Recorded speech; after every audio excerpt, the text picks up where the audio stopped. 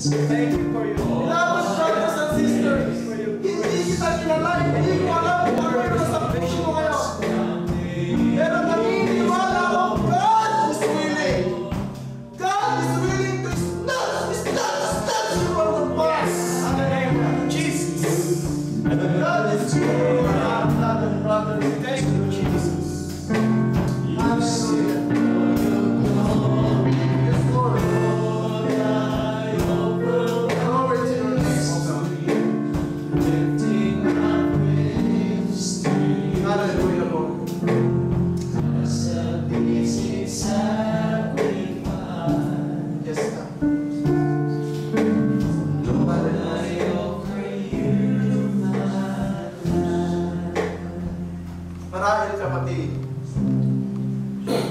palagi mo nang napapakinggan about sa kaligtasan. Marahil, marami na yung papastora nagsasabi nito mga kapatid. Pero sinasabi ko po sa inyo, paulit-ulit po sinasabi itong kaligtasan na ito. Dahil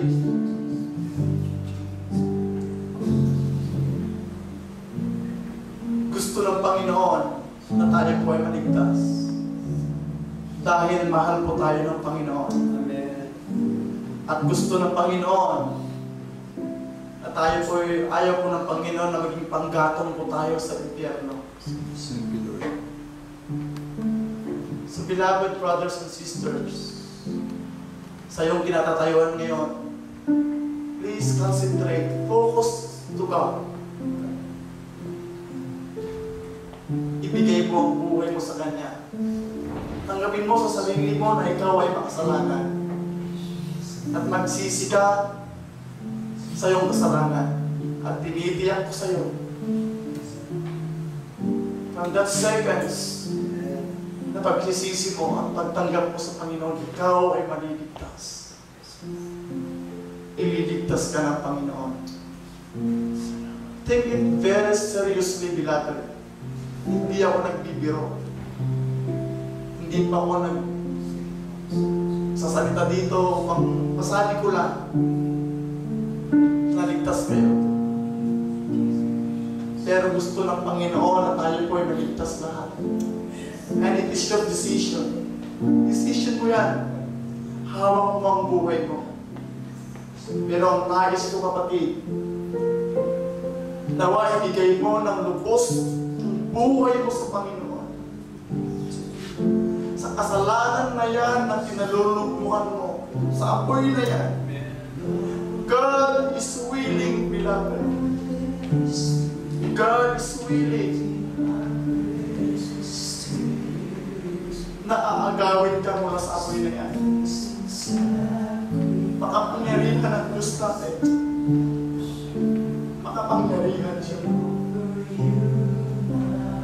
Mahal na mahal po niya tayo. Mahal na mahal tayo ng Diyos. Na ibinigay niya ang ating Panginoong sa Kristo. Para patayin ang apoy at tayo kunin mula sa apoy. The decision is yours. Ang decision ay nasa sa'yo. Patuloy kang gagawa ng kasalanan, patuloy mong lalangoy mula sa kasalanan. Decision mo yan, kapatid. Hallelujah. Hallelujah. Tayo po ay manalangin. Father, we thank you, Lord God, for the boldness of Yes. Brother Robert Anak. He's very honest, God. Lord, thank you very much for this honesty, O God. Lord, dinadalangin ko po, Panginoon. Tanggapin mo po ang buhay na inaalay niya po sa inyo. Lord God, alam po namin, Panginoon, alam mo po yung puso niya, Panginoon, na gusto niya magsisi sa kanyang mga kasalanan, gusto po, gusto po niya tanggapin ka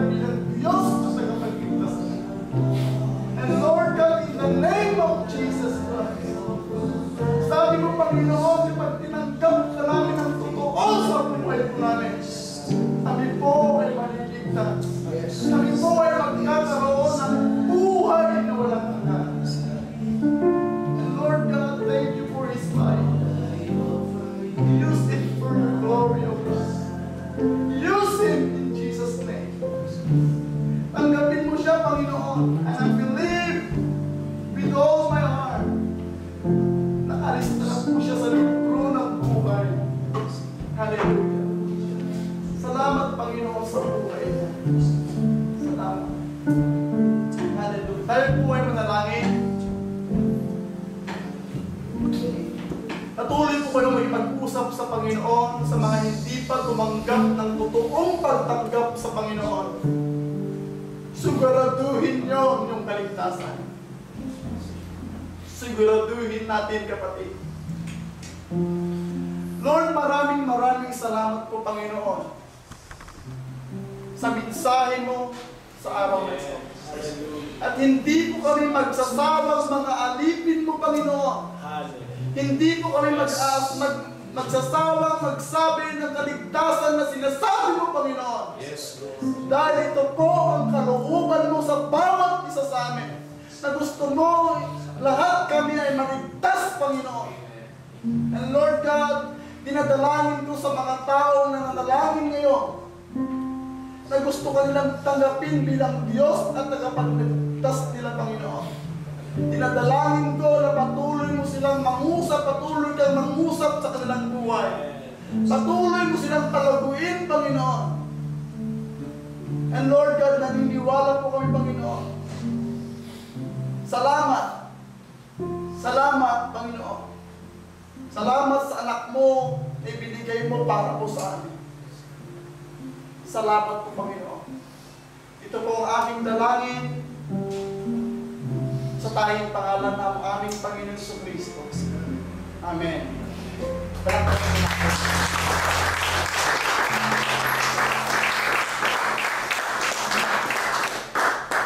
So, hiniling ko po na awitin po natin yung uh, doxology.